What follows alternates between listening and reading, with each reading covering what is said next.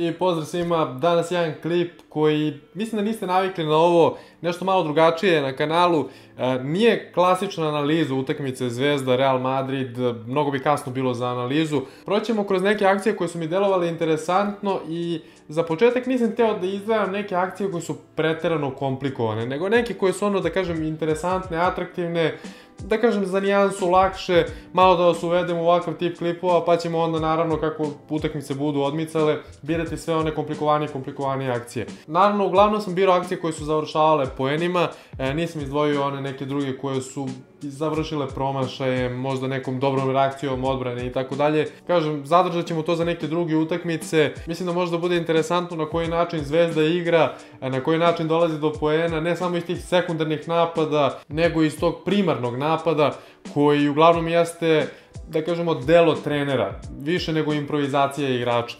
Pa eto da vidimo kako je, na koji način je to Saša Obradović e, uspeo da implementira u Zvezdu. Tačno na ovoj utakmici videli smo jednu jako interesantnu i lepu akciju na kraju krajeva za Lojda, e, koji je uspeo da položi e, na košu dva puta, ista akcija je prošla, ista akcija je prošla i protiv Asvela, pitanje da li će i dalje prolaziti jer će igrači biti svesni da Zvezda to namerno igra i da vidimo da li ako se to zatvori, da li iz te akcije onda može da se izvuče još nešto dodatno, da se otvaraju neke druge šanse za neke druge igrače, da bez obzira na to ako protivnik sledeću utakmicu zatvori baš tu akciju, da on može iz te akcije da izvuče recimo šut za 3 poena ili nešto potpuno drugo. Ali pre nego što krenem sa ovim, bilo bi lepo da napravimo za početak neku uvodnu priču i to je o napadu. U košarci postoji primarni i sekundarni napad.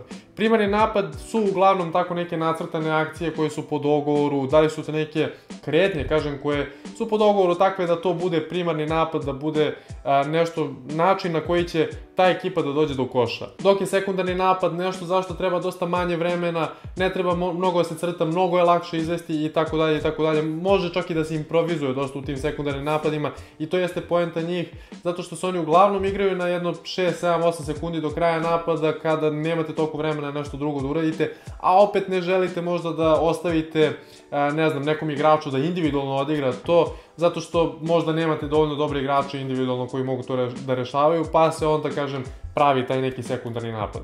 E sad, košarka u Evropi se mnogo promenila, a, početkom 2000-ih je sekundarni napad i ranije naravno dosta, je uglavnom bio, da kažemo, crtanje opet nekih drugih akcija koje su bile, znači imate playbook za primarni napad, imate playbook za sekundarni napad.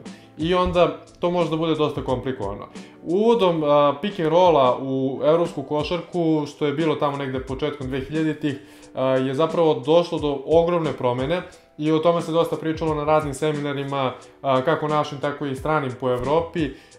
To je ušlo naravno iz NBA lige, svaka košarkaška novotarija dolazi iz NBA-a, što je apsolutno normalno s obzirom da je Amerika smislila košarku. I kažem, dolaskom tog rolla uh, dosta se promenio sekundarni napad gde su mnogi treneri odlučili da više neće da se oslanjaju na te neke svoje akcije koje često igrači zaborave, a, treba par sekundi, ne znam, sekund, dva da se svi dogovore, ono, da se, da se vidi šta će se tačno igrati, nije toliko ni lako i zbog toga su se odlučili na taj pick and roll koji je mnogo, mnogo lakši i Uh, ukoliko imate igrača koji to može da igra, a danas maltene svako to može da igra, uh, bez problema vaša ekipa može da se snađe za par sekundi da dođe do koša.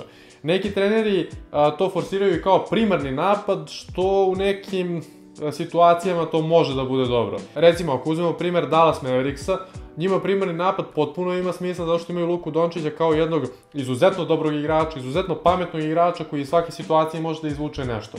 I u svakom piku, aj kažem u 60-70% pikova on bi mogao da donese poene svojoj ekipi. I onda kada gledate iz tog ugla, zašto vama pick and roll ne bi bio primarni napad, a onda povremeno neka opcija da bude i neka akcija iz koje će da možda neki igrač drugi dođe do poena ili možda se ne, neka, neka druga situacija napravi. Čak često Dallas koristi neku prim, za primarni napad neku akciju da bi doveo do bolje situacije za sekundarni napad, što i nije toliko strano čak ni u evropskoj košarci. A, tako da kažem, a, razne su tu taktike, dosta ima nekih kombinacija, kogod da je kreativan, on će smisliti najbolji način kako da njegova ekipa a, naj, najlakše dođe do koša i to jeste poenta da najlakše dođe do koša. Zato sam ja često zamerao prošle godine Šakoti i Milanu Tomiću i tako dalje na tom njihovom primarnom napadu koji bukvalno ni do čega ne dovodi.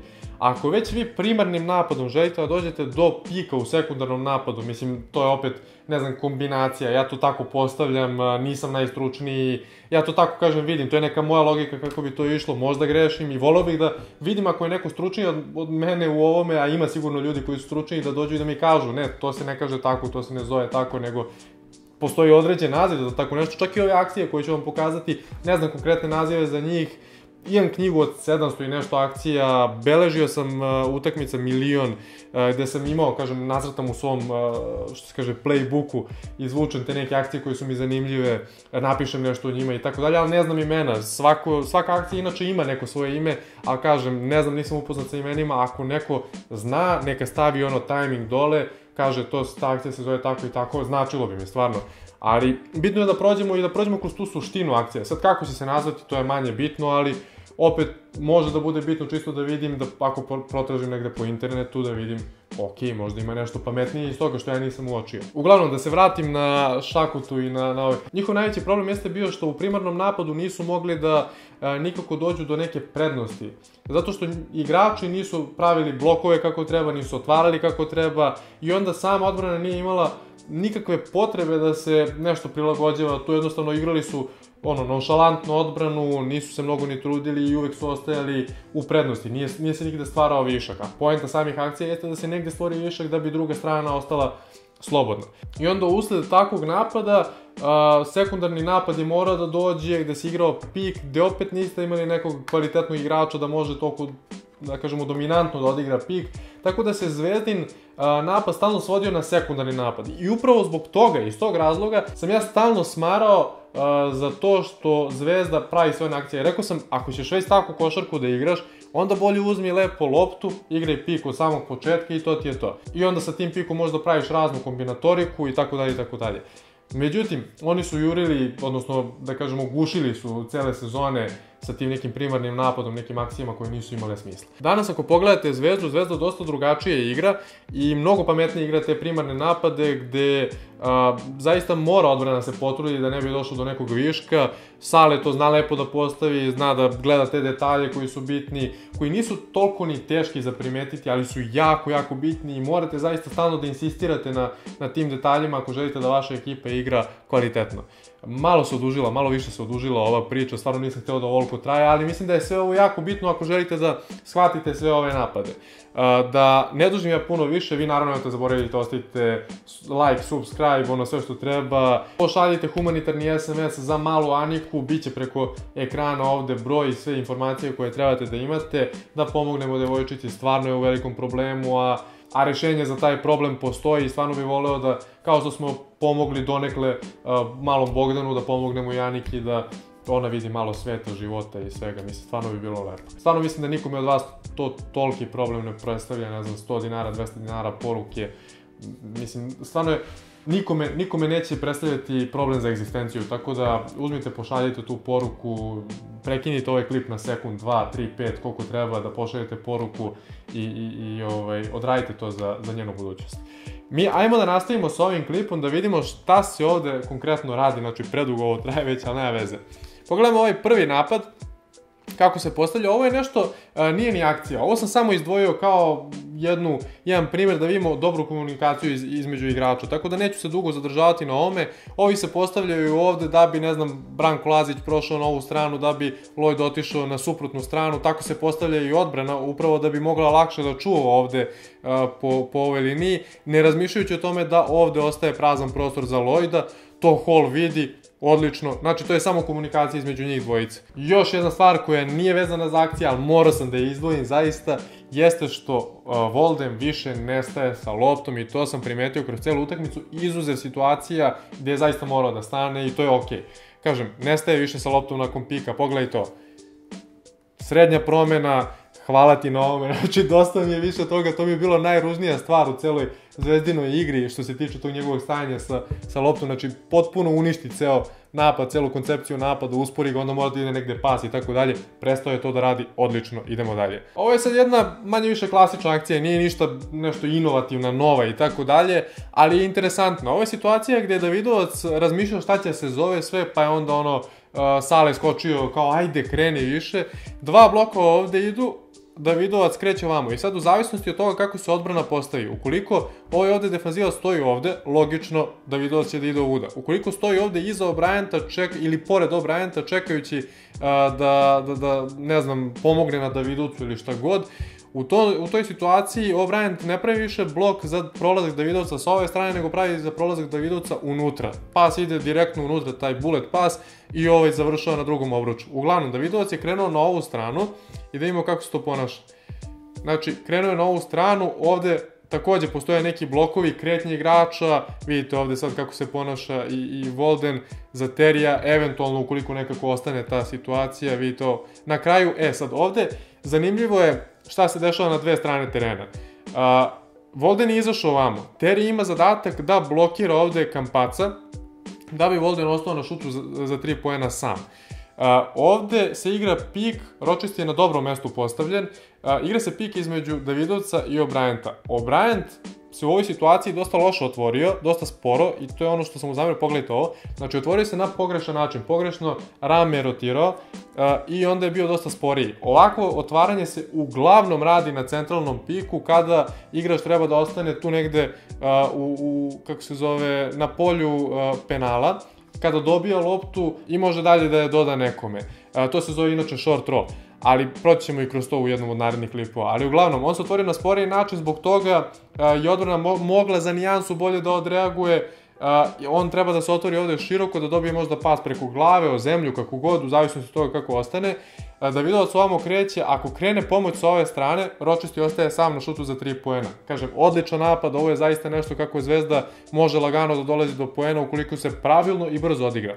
Zvezda ovo nije odigrala pravilno, nije odigrala ni brzo, tako da eto, došlo je do, do tog nekog, da kažem, malog problema. Uglavnom, da vidimo šta se dalje desilo. Uh, ovde se O'Brien loše otvara, Davidovac kreće unutra, došlo je do tog nekog preuzimanja, što opet ne mora da bude negativna stvar, ali ono što je najveći problem ovoga jeste što uh, Terry nije napravio dobar blok, Kampacu se iz ovog bloka lagano izvukao i uh, Volden nije ostao, nije ostao sam. Taj je ovde bio dobar blok, ovde bi se napravila gužva, Volden sam, može da ide pas ovamo u korner, to je laga, lagani šut za 3 poena, to je dobar napad, međutim ovako se dešava ovo i kao što možete vidjeti ništa nisu profitirali iz ovoga. Ali kažem, jako dobar napad koji je napravljen za Davidovca, da on može iz ovoga da, da profitira i jednostavno mora da bude dovoljno drzak, dovoljno, što kaže, sportski bezobrazan, da kaže, da, ok, hoću da uzmem loptu i da budem opasan sa njom.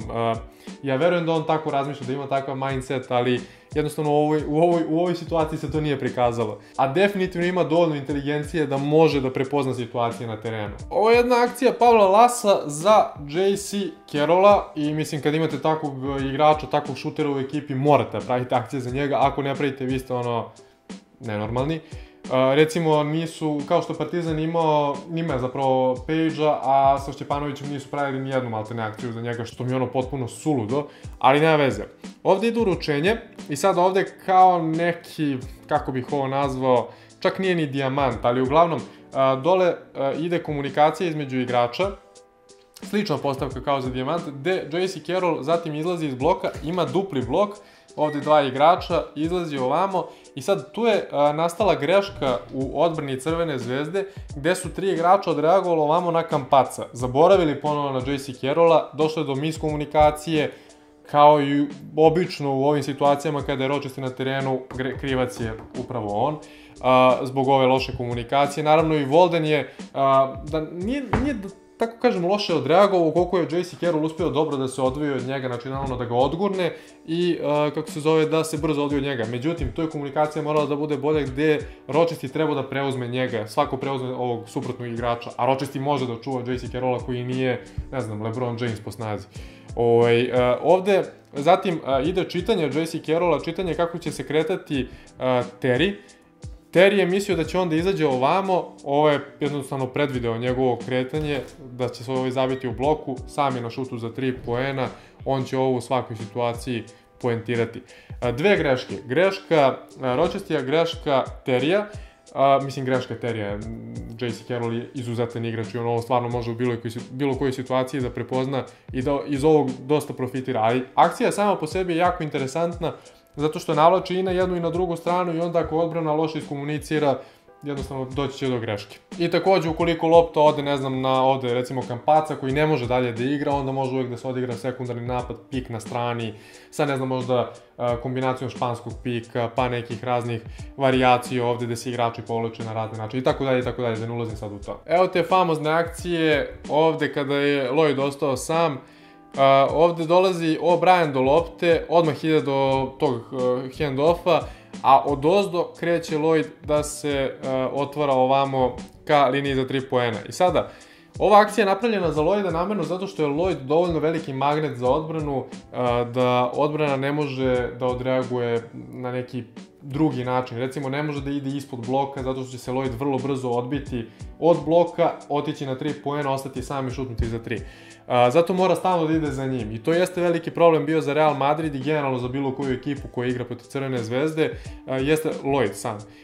Ovde se prave dva bloka. Jedan blok jeste da krene ovamo, što opet može da bude dobro da se profitira, zato što Lloyd da čuva dosta niži igrač, ako da videovac ostane na njemu, to je neki, nazovi mismatch. Uh, I iz te situacije opet može ovde da, kažem, možda Lloyd poentira, možda Davidovac i tako dalje. Sa druge strane, imamo ovaj blok od Marka Jagodić Kuriđe, a zatim i od O'Brienta koji brzo trči ovamo da pravi blok. Gledajte ovo, znači jedan, drugi. I sad, u zavisnosti od toga kako se postavlja ovaj ovde centar, a, tako će da odreaguje i Lloyd. S obzirom da ovaj ovde mora da ga prati sve vreme.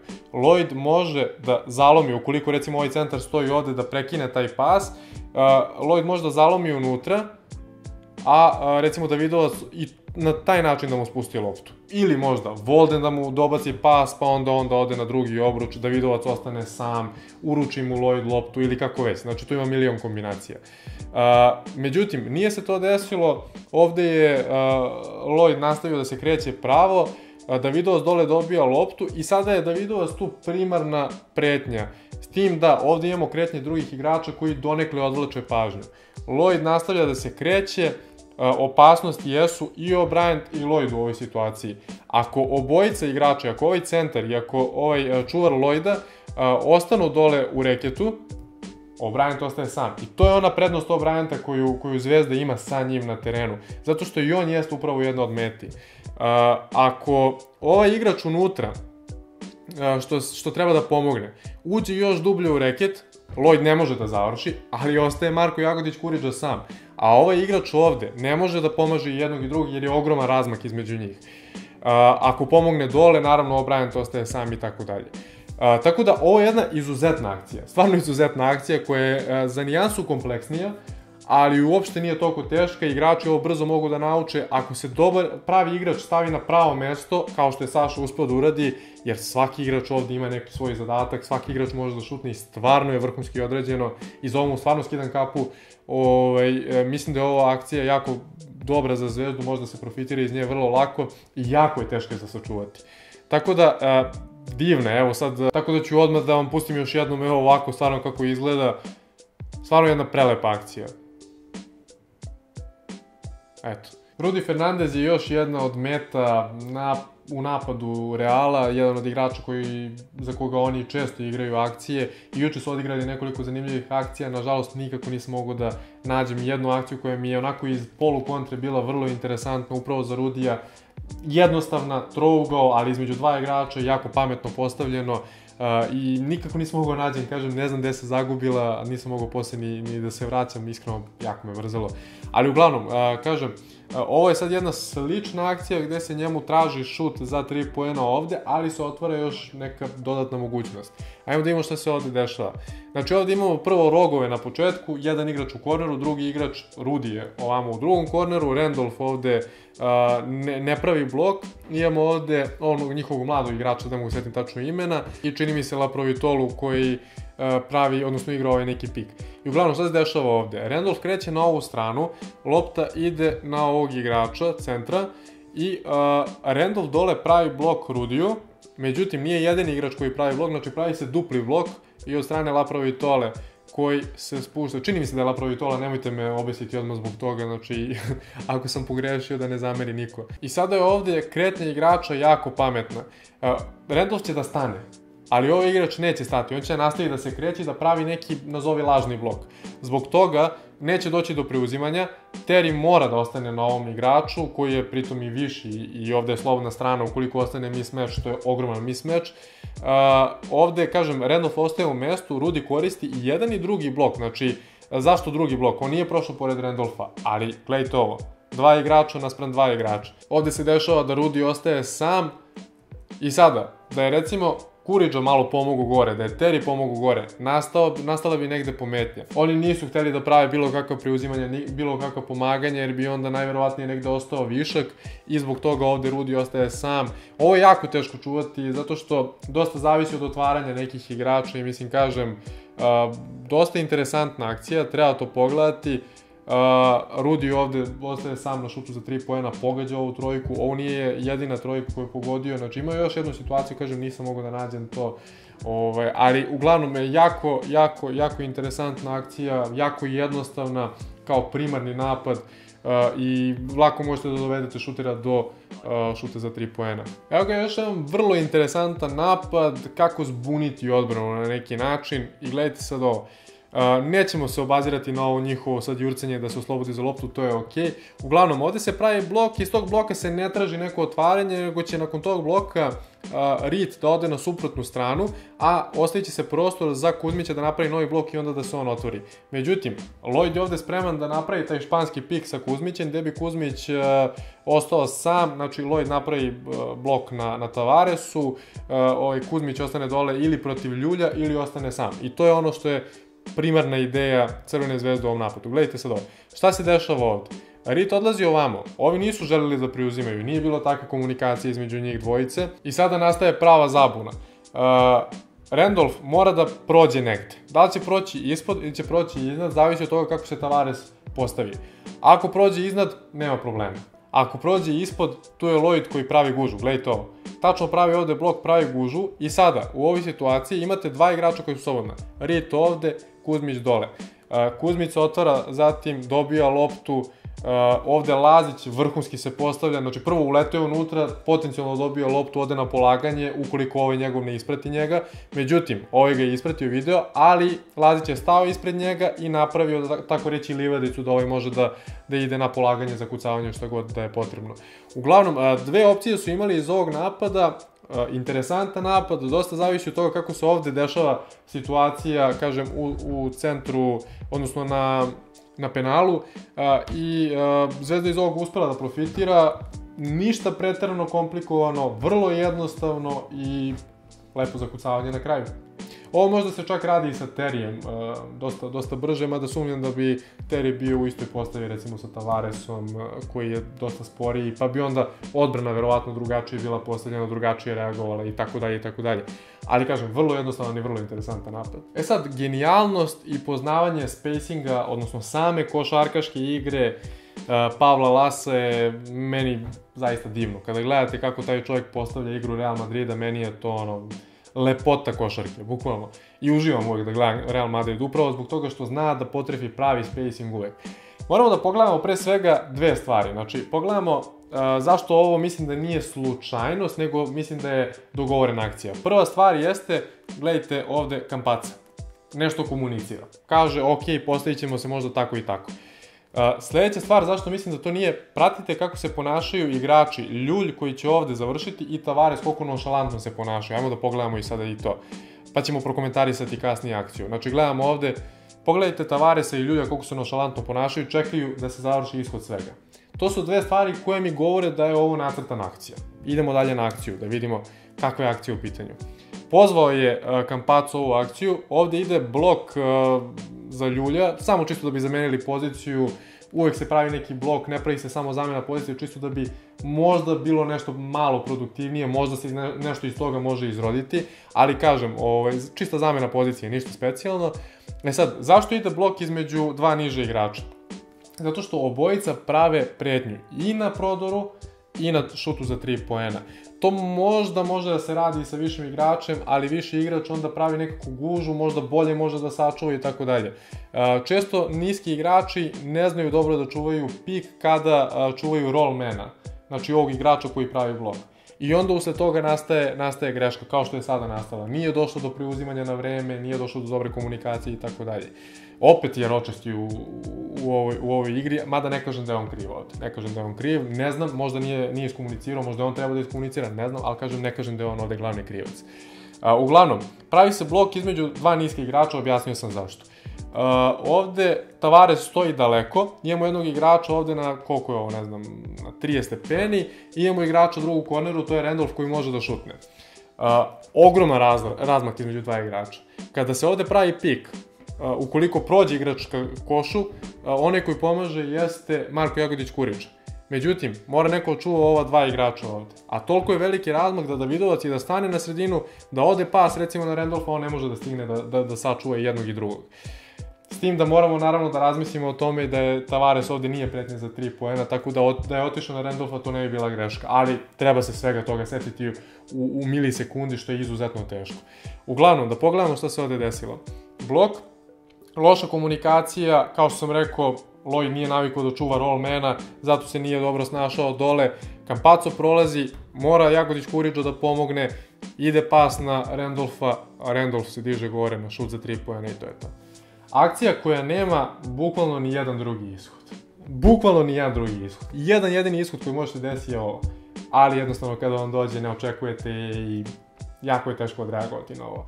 Uh, tako da stvarno svaka čast Lasu na ovome. Ovo je, ovo je takva minijatura da je to Neverovatno, ali Laso je neko ko zna ovo da radi stvarno vrlo dobro i nije iznenađujući uopšte. Još jedna variacija toga je, evo ovde ovako slično, s tim da ovde se sad pravi gužva, konkretno ovde, da a, igrači ne bi mogli da gledaju unutrašnji deo terena a, i konkretno drugu stranu. Gledajte sad ovo, ovi, lopta ide na stranu, ovde se prave neki blokovi, jedan igrač se izdvaja u korner i ovaj igrač će ostati ovde maltene sam. E sad, ovi blokovi što se prave ovde, teraju igrače Zvezde da budu okrenuti, da ne gledaju kako se ponaša ovaj sa loptom. I zbog toga što ne gledaju kako se on ponaša, nema pomoći sa ove strane na prodoru ovog igrača sa loptom, kao što možete vidjeti.